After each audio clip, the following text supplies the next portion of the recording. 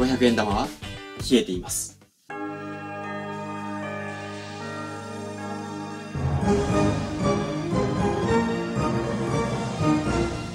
さあ今日のマジックに使うのはこちらです。まずハンカチが1枚。グラスがあって中には500円玉が入っています。こちらのハンカチ表も裏も何もありませんね。ではこのハンカチの真ん中あたりにこの500円玉をこのように持ちます。そして今からこの500円玉をグラスの中に入れます。ではよーく聞いておいてください。聞こえましたね。今500円玉がグラスの中に入りました。そして口の部分はハンカチでしっかりとカバーされています。ではよく見てみてください。一瞬です。500円玉は消えています。そしてどこにもありません。500円玉の完全消失マジックでした。500円玉消失マジックトリック公開です。このグラスの中に入れたはずの500円玉が消えてしまいました。ではその消えた500円玉一体どこへ行っているでしょう？実を言うとここにありました。ではなぜここにあったのか今からしっかりと解説していきたいと思います。このマジックに使うものハンカチが1枚。500円玉です。で500円玉でもなくても100円玉10円玉でも、えー、演じることはできます。最後はグラスです。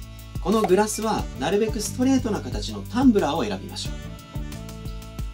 う。では手順通り解説していきますね。こちらのハンカチ裏表見せます。もちろん何も仕掛けはありません。そして真ん中あたりに手をこのように入れます。そこに500円玉を持ちます。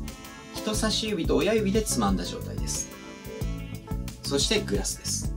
このグラスの中に今からこの500円玉を入れるんですがまずハンカチをこのようにかぶせました。でもこのままだと見えないので説明のためハンカチなしでやってみます。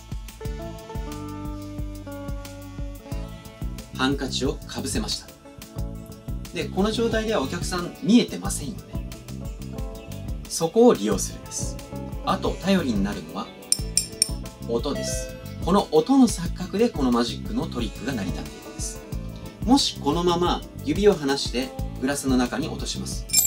そうするとこの500円玉は永遠に消えませんこの落とす時にトリックがありました。そのままグラスの中に落とすのではなくて落とす少し前にこのグラスをお客さんの方に傾けます。そして500円玉をグラスの側面に当てて手のひらの上に落とすんです。こんな感じです。お客さんは中が見えていないのでこの音を聞いた瞬間にあ500円玉がグラスの中に入ったんだという錯覚を起こします。その錯覚を利用しているんです。あとはグラスがきちんとハンカチで覆われていることを見せている間にこの500円玉をこっそりと反対の手で取ります。そしてハンカチの端を挟んで引き抜きます。でお客さんにこのグラスの中の500円玉が消えたということをアピールしている間にこのハンカチの中に隠している500円玉を落とします。そして最後は両手を見せて完全に消えてしまったということをアピールします。このマジックは音を使ってお客さんの思い込みを利用します。なのでテンポよくそして消えた時は瞬間的に消えたように見せてこちらに持っているコインも気にせずにそのままハンカチの中に落とし込んでしまいます。そして最後は両手を見せてクリアに演技を終えてみるといいと思います、まあ、ぜひこのマジックも試していただきたいと思います。えー、面白いなと思った方はグッドボタンチャンネル登録お願いします。それではまたお会いしましょう。お相手は内田隆光でした。コインを当てて